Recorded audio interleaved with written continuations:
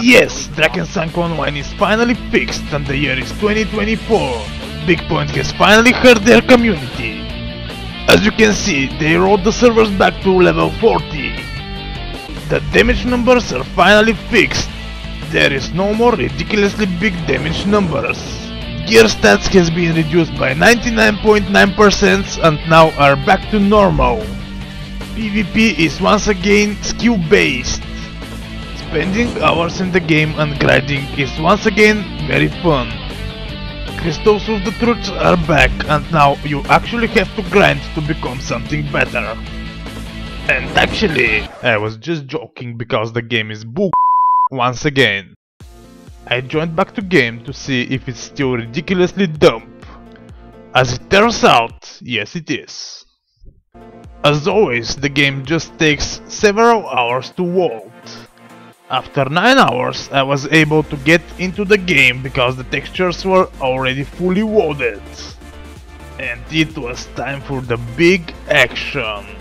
Unfortunately, once again, my attack speed of the character is 17 attacks per second.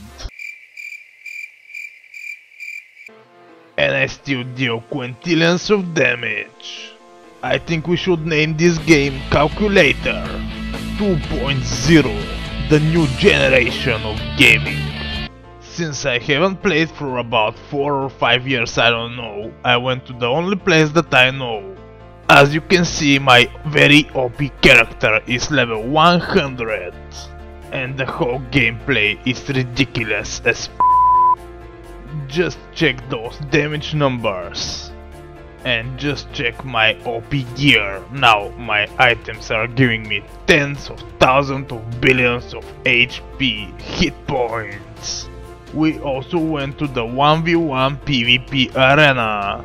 Once a honorable place, this place is now ridiculous as This game has become so ridiculous that now you get one-shotted faster than ever before. So welcome back to Drakensang Online. Sorry, I mean uh, Calculator 2.0, the attack of the numbers.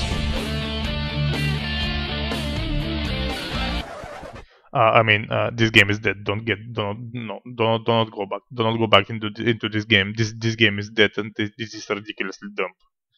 Goodbye.